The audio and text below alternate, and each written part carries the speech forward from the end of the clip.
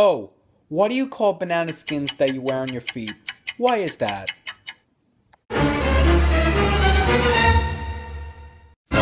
Oops. What do you call that you what do you call that you wear on your feet? They're called slippers.